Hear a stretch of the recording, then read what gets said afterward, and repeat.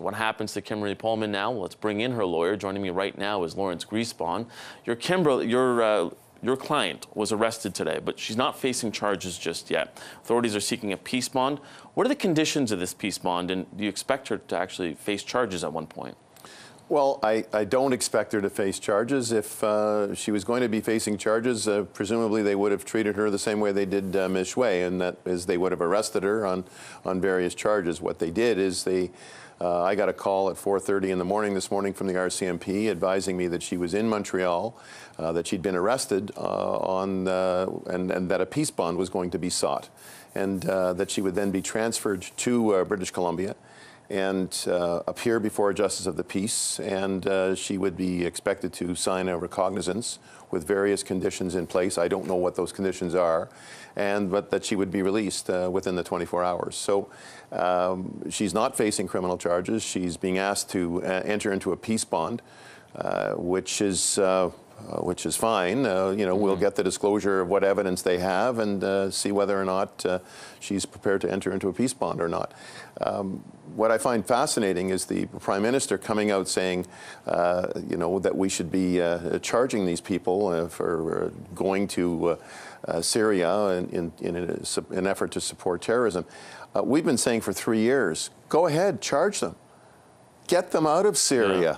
Bring them home, charge them here where they can get a fair trial. That's what we've been asking for, and that the Canadian government has uh, not been doing that. And that's uh, why we brought the action in federal court to uh, force them to do just that. And to that action in federal court that, that, you know, for repatriating other Canadians, where is that fight right now?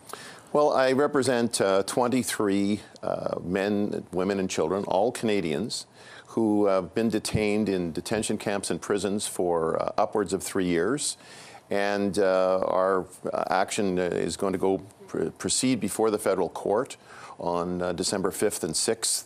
And uh, the hope is that we will be able to convince the court that the uh, Global Affairs Canada needs to do the one thing that the Autonomous Administration of Northeastern Syria has been asking for, and that is to simply make an official request for the repatriation of, its, uh, of our citizens, of our Canadian citizens.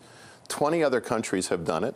More than a thousand people have been returned to their uh, native countries. Uh, there just seems to be no good reason why Canada can't do the kind of thing that they just did today right. with Kimberly Polman and Ms. Chouay. Is Ms. Polman in BC right now? Has she landed? That's uh, my understanding is yes, that she's landed there, and uh, she'll be processed, uh, as I say, before Justice of the Peace uh, very shortly. Her sister, as we reported, you know, told Human Human Rights Watch that she was traumatized. How is she doing?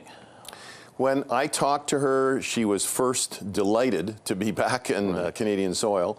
Uh, but uh, I think the primary reason that she was uh, uh, repatriated is because of her very precarious health. So that's, that's going to have to be looked at as soon as possible. When you consider the reason that she said she went over there to marry a, mm-hmm. an ISIS fighter, I mean, is there an issue of people who are being radicalized because uh, of, of, various issues, and is the government doing enough to address these issues of preventing people from being radicalized to go over? I, I don't know how, you know, what, what role the government could have in terms of trying to prevent people from being radicalized. But you know where they have evidence of people who have been involved in or supported uh, some type of crime overseas, we have the mechanism, we have the laws. Uh, the Prime Minister just referred to them. And we also have a huge department within the Department of Justice that are, that are there. They're, they're full-time uh, being paid lawyers and paralegals and so on. They're there in order to uh, investigate and prosecute uh, the cases where warranted. That's the mechanism that we should be using, not letting them rot for three years in prisons and detention centers. Lawrence Greenspon, lawyer for Kimberly Polman. Thank you so much for joining us today. I appreciate it. Thanks for interest.